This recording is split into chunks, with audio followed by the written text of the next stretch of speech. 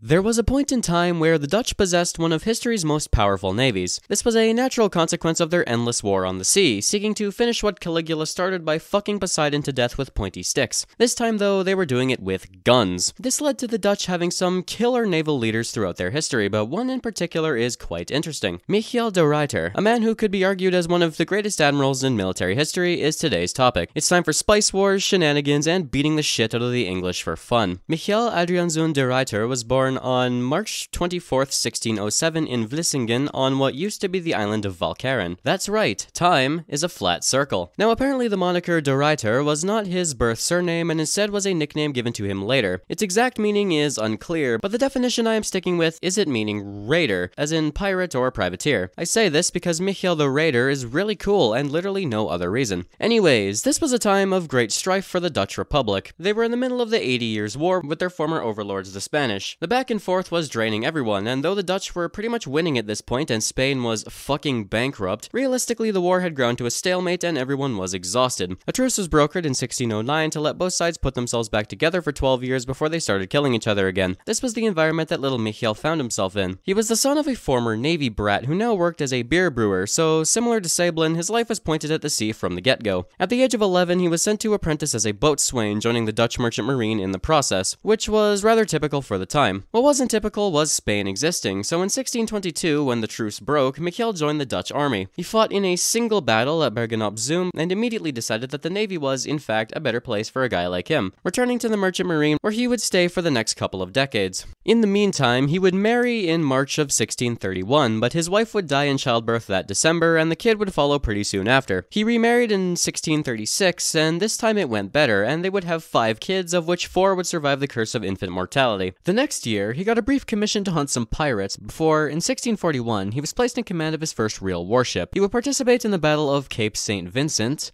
Uh, that one, where he himself would perform quite well by all accounts, but the Spanish learned the term Pyrrhic victory the hard way. For now, though, this would be a one and done, with the Dutch going home and De Ruyter returning to the merchant marine. During the intervening nine years, he made a shitload of money sailing around and trading, and realistically could have chosen to retire right then and there. However, fate is a fickle bitch who doesn't play by the rules. For instance, his second wife would die in 1650. He would get remarried again two years later, and he did decide to retire after this, which lasted all of five minutes before the Anglo Dutch Wars kicked off and he was asked to come back into military service. The Eighty Years' War had ended in 1648, only for the Dutch to immediately end up at war with the English less than five years later. For any other country, this would result in a very bad time. The Netherlands, coincidentally, are not any other country. Poseidon can shove his big golden fork up his ass. The Admiralty asked him real nicely, and he went fine, but only for one, one expedition. Like I said, she's a fickle bitch. He was enlisted as a Commodore, placed in command of a Zealander squadron of privately funded warships. He would fight in three major battles of this war, the most important of which being the Battle of Plymouth. His main purpose in this one was convoy escort. The Dutch Republic relied heavily on trade, and the English being able to cut that off was not a good thing. In August of 1652, one such convoy set out, and De Ruyter was charged with protecting it. He brought with him 29 fighting ships, not including the 10 already charged with escorting the convoy. He tried to bait out an English fleet before the convoy had left, but they were having none of it. The English wouldn't actually be stirred to action until the convoy had set off.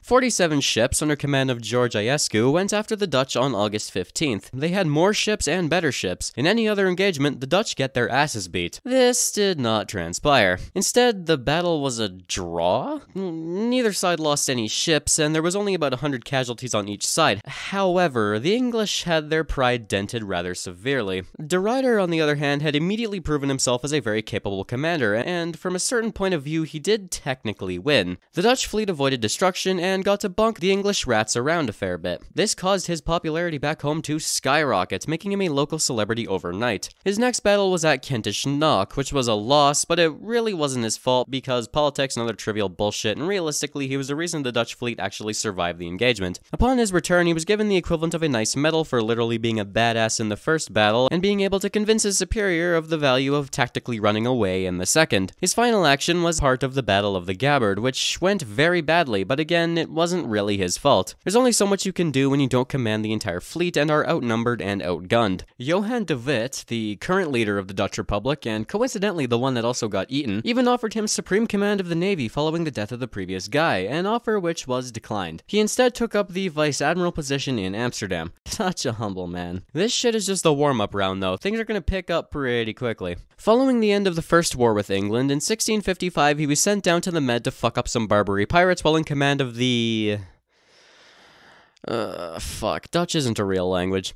Upon his return the next year, he was sent to the Baltic Sea to fight Sweden, relieving the siege of Danzig and apparently becoming friends with the King of Denmark. He was sent back in 1659 and was able to beat the shit out of Sweden and help liberate Nyborg, which got him knighted by said King of Denmark. It gets better though, because the English were back for round two. After some more merchant escorting in the Med, he was sent down to West Africa to retake some forts that the English had stolen. After he succeeded, it was time for the counterattack, which saw him haul ass across the entire fucking Atlantic in 1665 to raid around North America. He raided Barbados, captured a bunch of English merchant ships, then went up north to Newfoundland, blowing up more shit and even occupying St. John's for a minute. Maybe that's why Newfies are completely fucking incomprehensible. Anyways, while he was gone, shit had hit the fan. The Second Anglo Dutch War had begun in earnest, and in June the Dutch fleet got fucking mauled at the Battle of Lowestoft. The commander of the fleet was killed, and when De Ruyter returned, he was pretty quickly offered the position to hopefully turn things around. This time, he actually accepted the role, making him a lieutenant admiral, which I believe was the highest naval rank in the country that could be achieved without political shenanigans. He took the Zeven Provinciën as his flagship, and he kicked things off with a bang, pretty decisively winning the four days battle in June of 1666. The battle immediately following, in July, would go much less good, however. De Ruyter's second in command made a couple of dumb fuck decisions, the wind seemed determined to screw the Dutch over, and De Ruyter himself was almost killed several times. However, this battle had pretty much bankrupted England, and De Ruyter was able to save the majority of the actual ships in the fleet, and the Dutch were seaworthy by the end of August. Essentially, it could have been much fucking worse. The dumb fuck second was also pretty much politically ruined back home, so silver linings, I guess. They would make up later down the line for the sake of actually winning the war, and would actually end up fighting together a fair bit. Hell, they even had their names on the same ship class, so things turned out okay in the end. One defeat wasn't gonna get this guy down, though. He would bounce back by next June, taking part in the raid on the Medway, which, as you may know, was one of the most lopsided massacres in naval history. They blew up 43 ships and captured the flagship of the English fleet and towed it home to use for birthday parties. This ended the war pretty quickly, with the Peace of Breda following in July of 1667. De Ruyter was actually forbidden from going to sea by De Witt for a couple of years, as he was terrified of losing his best guy to like the flu or some shit. However, comma, not to take a humiliation lying down, the English came back for round 3 in 1672, this time allying with the French. De Ruyter was pretty quickly put in command of 75 hastily mustered ships, facing off against a combined fleet of 92 ships put forth by the French and English. This conflict would be his magnum opus and showed his incredible understanding of the art of war, utilizing the terrain, exploiting the known weaknesses of his enemies, like knowing the English had no money and that the French were fucking pussies, fighting engagements on his terms, and overall just being a smart dude. At the Battle of Solebay, he fought the combined fleet to a draw, preventing a blockade of the Netherlands and a potential naval invasion. Then in 1673, he won the back-to-back battles of Schooneveld, using the shallow water to his advantage, severely damaging the combined fleet and shattering a blockade for a second time. Lastly, at the Battle of Kijkduin, he fought the Allies off despite being outnumbered again, stopping a seaborne invasion dead in its tracks and protecting a spice convoy in the process. This drove a wedge between the English and the French, and their alliance would fall apart pretty soon after. For his overwhelming success, he was given the special rank of Lieutenant Admiral General, formally making him second only to the Stadtholder, but informally giving him the highest military rank in the country.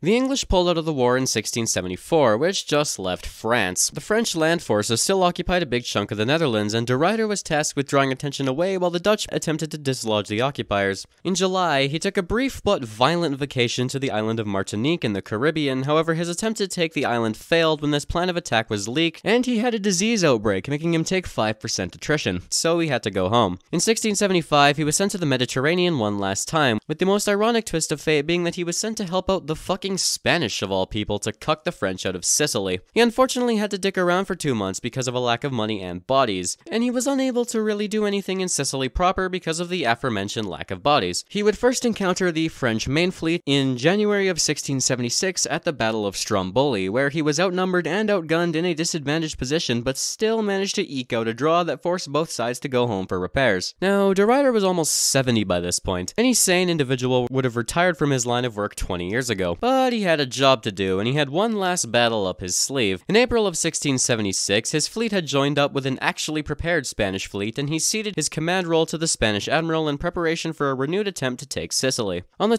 22nd, the Battle of Augusta would take place. The Spanish admiral was unfortunately a general wait and see, allowing the French to gang up on De Ruyter's squadron and cause issues. He held his own, giving the French a good mauling before electing to make a tactical withdrawals to not get fucking annihilated. In this, he would succeed. The Dutch didn't lose a single ship on that day, excluding a few that were damaged almost beyond seaworthiness. However, during the retreat, a stray cannonball would strike him in the leg. Both sides quickly dipped from the battle site to repair and regroup.